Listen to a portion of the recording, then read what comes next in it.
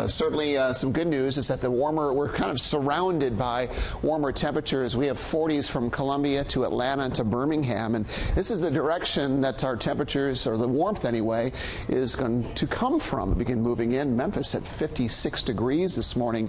We're going to start to feel the effects of milder weather coming our way with the help of a south wind, and that certainly has been the case in our mountain spots, which are much milder than the surrounding area. More on that in just a little bit. We have thin clouds that are drifting in our general direction. I think think that's really all that's going to really dot our skies today are a few thin wispy clouds over the area. From High Point to Stokesdale, temperatures around midday up to 58 degrees already. 63 this afternoon with southwest winds at about 5 miles per hour. Yadkinville to Hays, 62 your high at 3 o'clock this afternoon. Noontime temperatures around 57.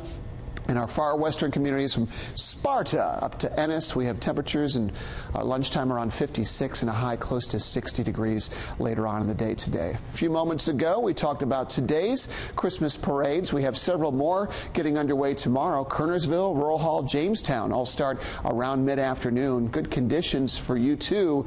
Uh, certainly not a, uh, a monopoly on that today. We'll have temperatures around 63 at 5 p.m. tomorrow as we start to warm things up, but cooling down down later in the evening on your Sunday with temperatures uh, primarily in the 40s. But look at the milder trend that's coming our way. South winds certainly getting the job done. Not only are our highs going to approach near record levels around 69 or 70, but the morning lows are also going to get a lot milder. In fact, it might not get too much far lower than 50 for early Monday and early Tuesday mornings, though. Once the front arrives, it'll bring us a better rain chance come Tuesday, and then followed by a cool down for late week Thursday, Friday with temperatures temperatures in the 50s.